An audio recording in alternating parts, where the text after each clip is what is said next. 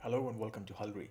So in this tutorial, we're gonna learn how to create a book library like this in Notion, where you can have your all of the books that you have read and some notes over here so that uh, in the future, if you want to refer to something that you've read and you have noted down, uh, you can come over here, you can click, which will open up this page and you can have a, like takeaways from the book, um, highlights if you want, and anything that you want to note down over here. And it can serve as a central repository uh, for your knowledge base. Um, and it's pretty, pretty easy to achieve with Notion. Uh, let's see how. So what we're going to do is we're going to create a new page. As soon as you uh, on the new page, we're going to create a gallery. So let's name our gallery books. We're going to uh, choose a nice cover for it. Uh, let's see this book icon. It looks good. So no, as you can see that uh, Notion has created a couple of template cards for us. Uh, we don't need this. So what you're gonna do is select all of these and delete. So now that we have cleared our desk, let's get to work. So what you're gonna do is you're gonna create a new card and you're gonna name the book that you have read. So Atomic Habits. This is one of the very nice books that I've read and I really recommend to everyone. So as you can see that uh, there are a couple of attributes over here. One of them is created and the other one is tags. So we're gonna leave the tags in the created for now. Uh, so we're gonna get started with the tags. So in the tags, I can use it as a genre for the book. I'm gonna type self improvement. Yes. And so now that I have the tag added, I'm gonna create another property, which is the cover.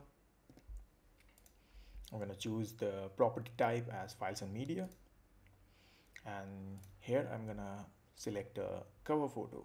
So I have previously downloaded some cover photos uh, from Goodreads and you can do it uh, as well. Uh, whenever you're adding a book just search for that book name and Goodreads. You will land up in the Goodreads page and then you can um, download the photo of the cover from the Goodreads page. So I'm going to select Atomic Habits. It's uploading. Okay so you have a cover over here now we're going to add another property, which is author. And I'm going to leave it as text because it's just plain text. So I'm going to write James Clear over here. Okay, sounds good. Now we're going to add another attribute over here, uh, which is ratings. Now, although it might uh, seem like a very special property, but uh, we're going to leave it at text and uh, we're going to apply some trick for it. So if you're on a Macintosh, uh, we're gonna bring up the emoji panel and we're gonna choose star.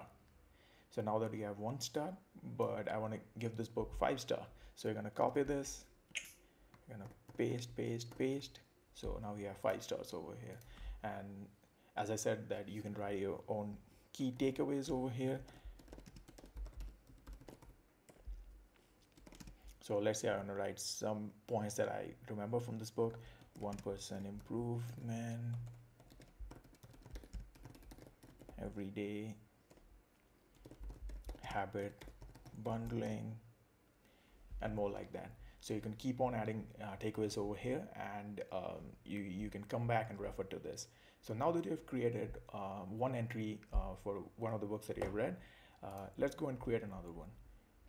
But before that I'm gonna show you how to customize the uh, layout over here. So right now you can see that uh, the grid layout uh, shows each item as the page snapshot over here and not much information that you have already added like author name and ratings like that. So we're to bring all of those over here.